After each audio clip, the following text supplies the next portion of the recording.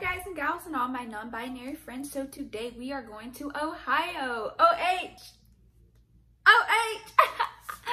so if you're not from Ohio and you're watching this video, which I don't know why you would be, uh, in Ohio, if you say O-H, someone else would always say I-O back to you, which is, I think it's cute. That's very cute. Like, it's real cute. Ohio has 18 electoral college votes. Abolish electoral college is just a way of keeping the democracy out of the hands of the many, and that's the whole point of democracy, so I really don't understand why that's a thing. Key dates to remember are going to be October 5th, which is today. Today was the voter registration deadline. October 6th to November 2nd is going to be the early voting date. So if you haven't registered by today, which I don't even know if I'm going to get this video up, but if you haven't registered by October 5th, unfortunately, the deadline has already passed. Um, October 20th is the recommended date to have your mail-in ballot back in. October 31st, vote by mail ballot request deadline. And of course, November 3rd, which is going to be the election. And you cannot register the same day you want to vote. So the registration deadline was October 5th. So if you didn't register by then, unfortunately, you cannot anymore. If you've never voted before, if you've relocated and are voting in a new state, you can register at vote.org. If you want to check your ballot or you need to make sure that you're still registered, go to Vote Save America. Both will be linked in my description box down below. What are the vote by mail requirements in my state? All Ohio voters whose registration information is up to date have the opportunity to vote in any election from the convenience of their own homes by requesting an absentee ballot. And they recommend that you have your mail-in ballot back in by October 20th. Does my state require my ballots be postmarked or delivered by election day? To make sure your absentee ballot is counted, it must be received by the Board of Elections by 7.30 p.m. on election day or be postmarked by the day before the election and received by the Board of Elections no later than 10 days after the election. If you use a postage label pur purchased at a USPS customer service window or vending machine, the date on the label is the postmark. This is the USPS recommended way to postmark your ballot.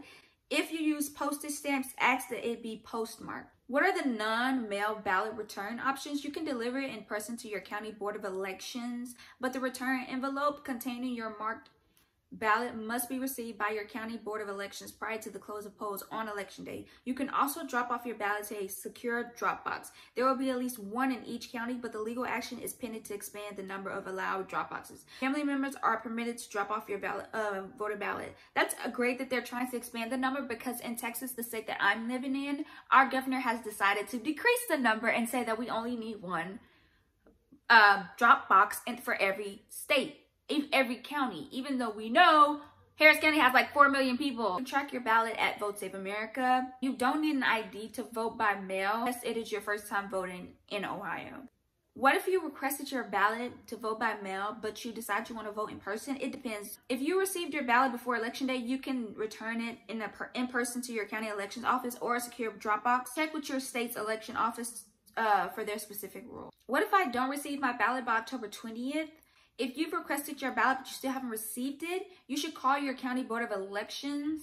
Alternatively, you can track the status of your ballot request as well as your voted absentee ballot through the online voter toolkit.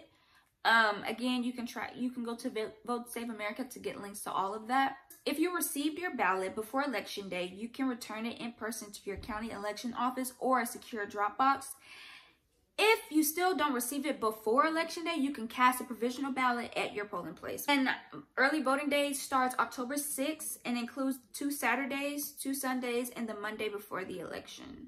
If you are going to vote on election day in person, please make sure that you are wearing a mask and keep keeping a safe social distance for you and other voters. And if you see any sus people trying to intimidate, intimidate coerce people into um, changing who they're voting for or getting out of lines, please call 1-866-OUR-VOTE. Do I need an ID to vote in person? If you're planning on voting in person on election day, you do. Acceptable forms of ID includes an Ohio driver's license, a military ID, an unexpired federal or an Ohio photo ID with name and current address, utility bill, bank statement, government check, paycheck, or government document. And Ohio has 16 out of its 33 state senate seats up and all 99 House seats up. So please check out Ballotpedia to find out if anyone's running for state senate in your district and to find out who's running for house um, seat in your district because everyone, if you are living in Ohio, every every house rep is up in your state. So please check out ballot. Um, Ohio does have two Supreme Court seats up as well as 22 intermediate appeal court seats up. The judge seat I'm going to highlight is going to be the, uh, the Ohio Supreme Court seat with uh, Sharon L. Kennedy who is a Republican that is going up against John P. O'Donnell, who is a Democrat. If you want to get more information on all of these judgeships, please check out Ballotpedia. And if you are living in Toledo, I don't know how to say Cuyahoga. I don't know. Cuyahoga County. I'm sorry if I mispronounced it. Fairfield County, Franklin County, and Hamilton County, and Lucas County. These are your uh, municipal elections going on this year. Please, again, check out Ballotpedia for more information if you live in any of these counties. Ohio has no ballot measures, and if you don't know anything about me, just know ballot measures are really my thing. So I'm kind of a little disappointed, but it's okay.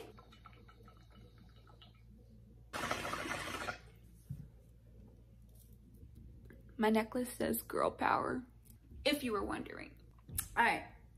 and I hope that you found this video informative. I hope that you're making a plan to vote. I really, really hope that you're contemplating running for office in the future because it really is on all of us to make this work for all of us.